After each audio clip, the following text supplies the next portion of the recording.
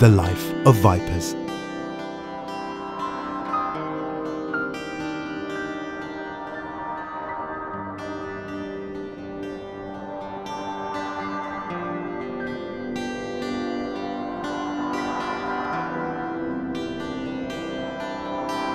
Vipers are extremely shy animals, leading a reclusive life, constantly waiting.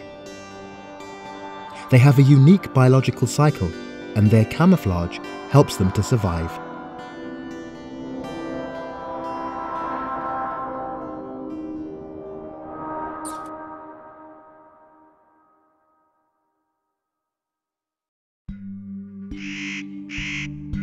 Italy has four species of vipers, three of which are to be found in the northeast and in Friuli Venezia Giulia, where all three coexist in several areas, including the nature park Prealpi Giulie on the border with Slovenia.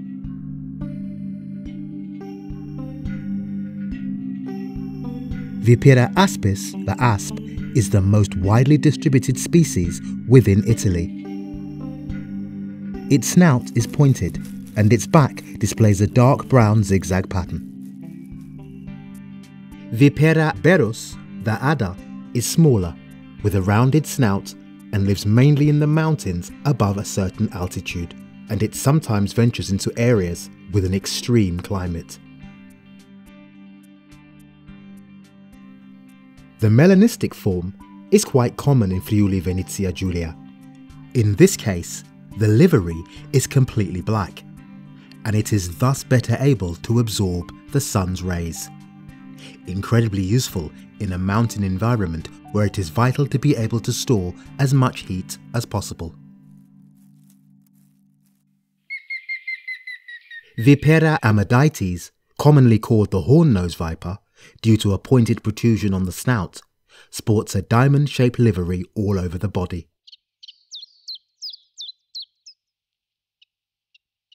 The females have softer colours, perfect for camouflage among the grey limestone rocks. In Italy, it can be found only in a few areas, in Friuli Venezia Giulia, Veneto, and in some regions of Trentino Alto Adige.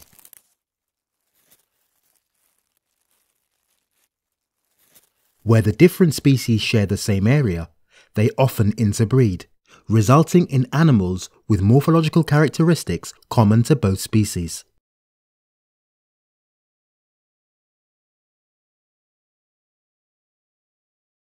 Each species has specific behaviours and habits and surprising biological cycles.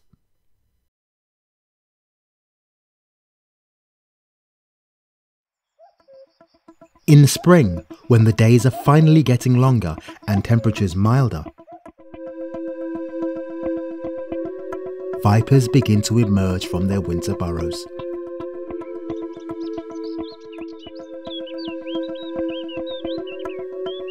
After a few days spent thermoregulating in the sun, the viper's breeding season begins.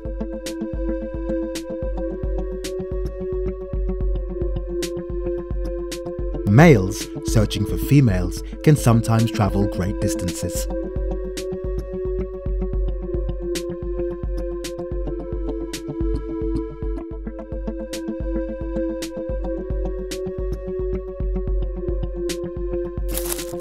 Before mating, males often fight each other in actual duels, repeatedly twisting around one another to establish dominance.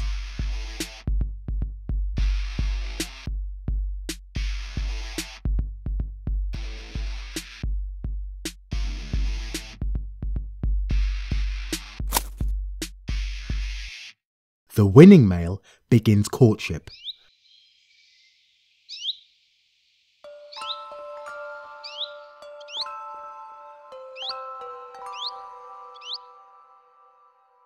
swarming gently over the female's body in progressive jerks.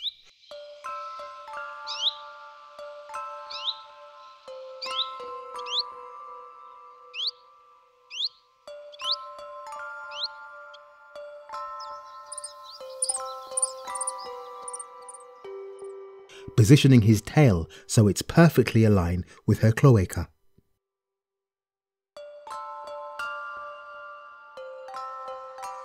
Only when the female is ready do the two bodies become locked together and remain attached until fertilization takes place. Sometimes the two vipers, caught in the ritual's frenzy, enter a state of trance and do not notice what is happening around them. With luck, it is possible to spot a male who, almost completely helpless, allows himself to be dragged away by the female.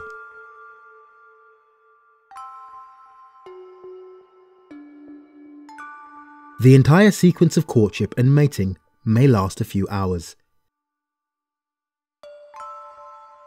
At this time, the animals are very vulnerable and an easy target for birds of prey or other predators.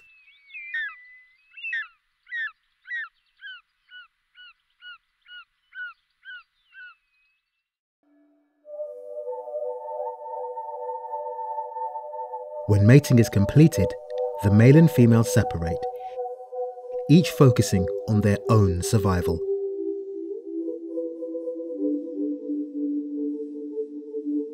Vipers pass a life spent in long hours waiting and searching for food.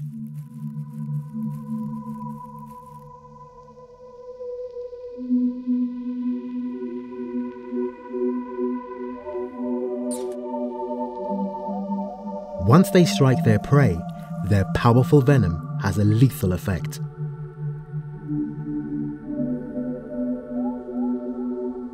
The viper follows the smell of its victim by sticking out its tongue.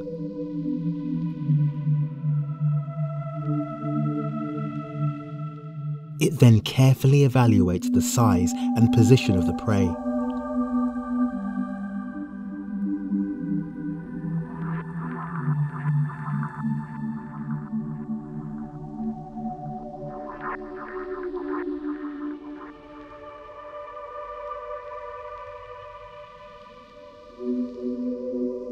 Finally beginning to swallow it whole, starting from the head.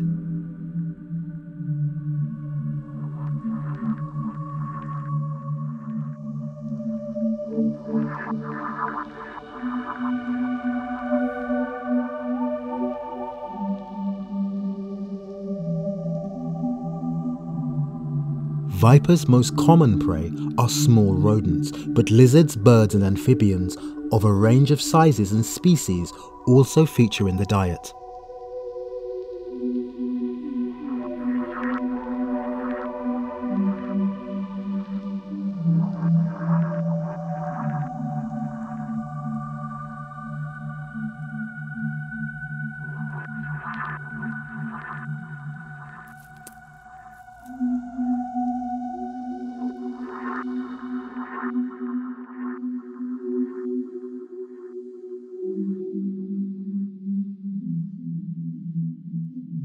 In the course of evolution, vipers have developed a particular prey capture system characterized by the injection of venom.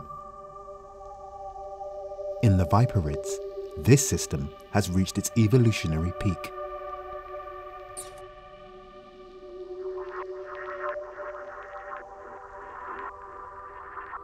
Each specimen is equipped from birth with sharp fangs. These are mobile and shaped so they can rotate forwards during an attack. Once stuck in the tissue of the prey, like a syringe, the fangs inoculate a venom that is deadly for the unlucky prey.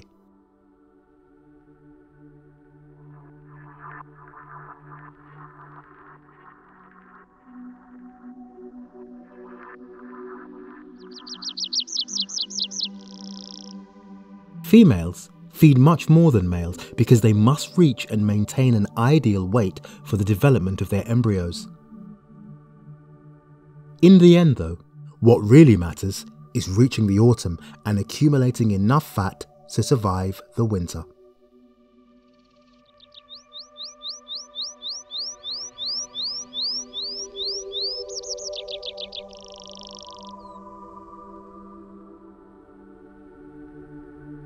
Generally, in Italy at least, the horn-nosed viper is the one that injects the largest amount of venom, so it is considered the most dangerous. In fact, the danger that Italian viperids represent for human beings depends on the size of the animal and also on the health of the bitten person and where on the body the snake strikes.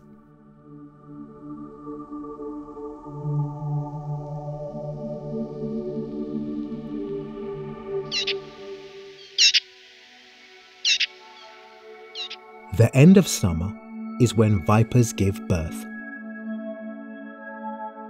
Gravid females move very little, spending many hours lying in the sun so that the embryos they are carrying can complete their development. Vipers, unlike most reptiles, do not lay eggs but hold them inside their body.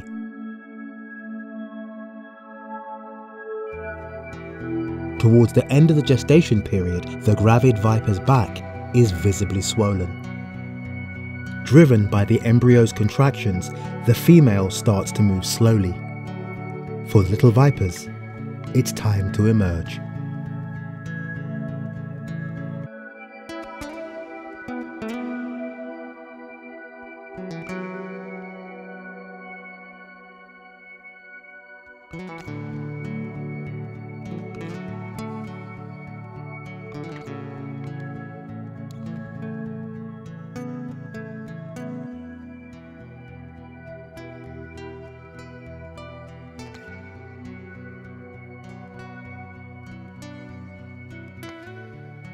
At the time of birth, the baby is still wrapped in its egg membrane.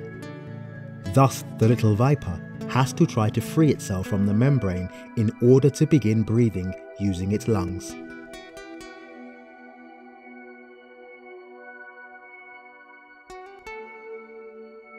The little horn is at first stuck to the snout, but within a few days it will detach and move into its natural position. It's stunning, but the newborn vipers are identical to their adult parents and are already equipped with a perfectly working venom apparatus. Already, in the first hours of life, the young go in search of shelter, and a few hours later, the newborn vipers start shedding their skin for the first time. In a few days, they'll be ready to catch their first prey.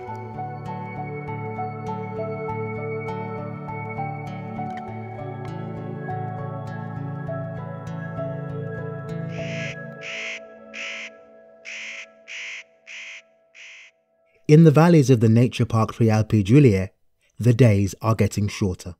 Average temperatures are dropping, and with the arrival of autumn, nature is preparing for a great change.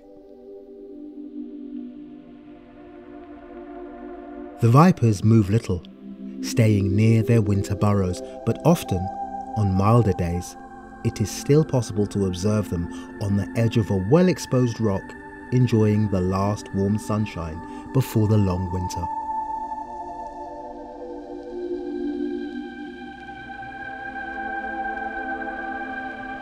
At this time of year, the vipers no longer feed. Their metabolism slows down and they begin to rely on the fat reserves laid down over the summer.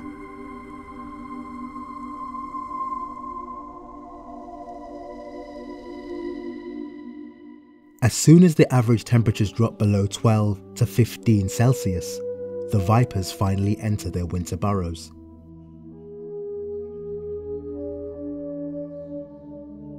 And the most delicate time begins hibernation. From this moment, the vipers will rest in an almost surreal state of quiescence until the following spring.